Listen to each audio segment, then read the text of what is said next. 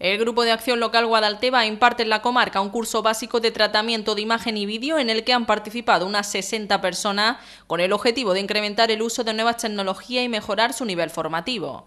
Los cursos se enmarcan dentro del proyecto Guadalteba Digital, acciones formativas de apoyo tecnológico para la ciudadanía del Guadalteba, que se han impartido en los municipios de Almargen, Cañete la Real, Carratraca y Teba, enfocados en la introducción de conceptos básicos de imagen y edición de vídeo.